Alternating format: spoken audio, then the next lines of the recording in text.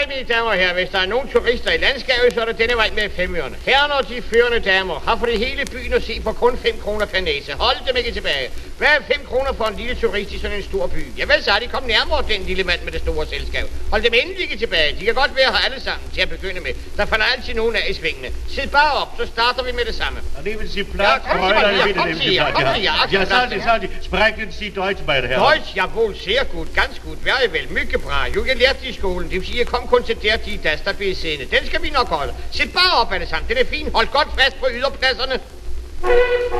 Ja, så starter vi. Så starter vi. Meine Damen und Herren, hier sehen Sie... Was ist das?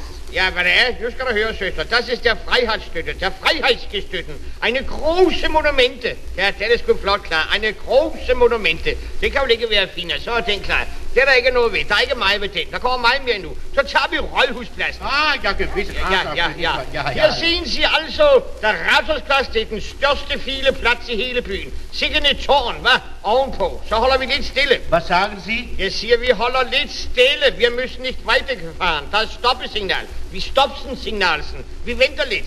Was ist das für ein Wagen? Hvad für en Wagen? Nå, der kleine Wagen da. Das ist ein Pølsevogn. Pølsevogn. Frankfurter. Bayerske pølser mit Gesinner. Aha, bedst var. Jawohl, ja. ja, ja, das ist sehr schön. Lübske pølser med Sinner på rundstykker. Nå, wir wollen weitergefahren. Nu kommer vi til Nytorv. Ach so, Nytorp. Was ist das?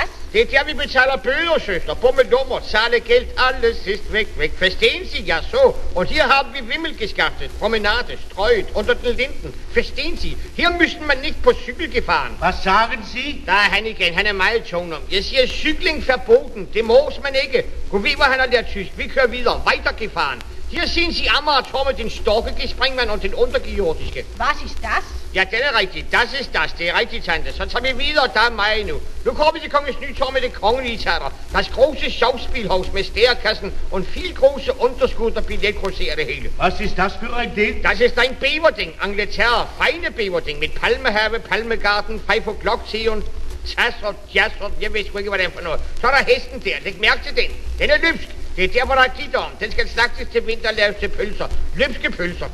Ja, det er rigtigt. Så tager vi turen ned ad Brigade. Nu kommer vi til Marmorkirken. Fra Der- Mor- Ja, schön. Den har vi her. Der går svenskerne aldrig ind på det, der står Lukas 1120. Ja, den forstår jeg ikke, men den er meget god på dansk. Så kommer vi til Amalienborg. Det er her vagtparaden trækker op, når kongen er hjemme. Når han ikke er hjemme, så trækker de også op, men det er øl. Hof er hof. Så kommer vi til tolvboden, dit tolvamt. Spritsmuglergevisen, forstehen Sie? Was sagen Sie? Der er han igen. Hvad sagen Sie? Hvorfor har du ikke lært dit sprog, inden du tog hjemmefra? Det er forfærdeligt at have med den slags mennesker at gøre. Nå, man müssen sich nicht verblüffen lassen. Vi må videre. Wir wollen weitergefahren. Der er Gifjon Gesprengewasser. Der Sprengwasser Gifjons. Skydende, was? Ja, wa- Was ist das? Nå, ham der. Ja, jo, ja, det der, det er en kanonfotograf. En bomfotograf. Psyke Bertha.